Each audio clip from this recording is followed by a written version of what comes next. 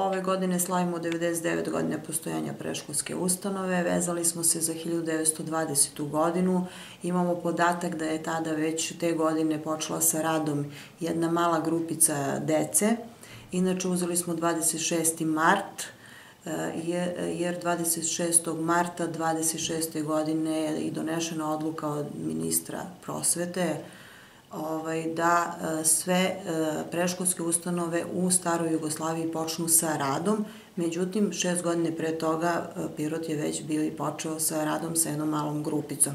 Tako da ove godine slavimo 99 godina, naredne godine je 100 godišnica, ove godine, kao i svake godine, imamo svoje aktivnosti, obeležavamo. Svake godine, hoću da kažem, na neki drugi način i malo drugačije, Ove godine imamo cele nedelje od 25. do 28. marta imamo aktivnosti u svim vrtićima.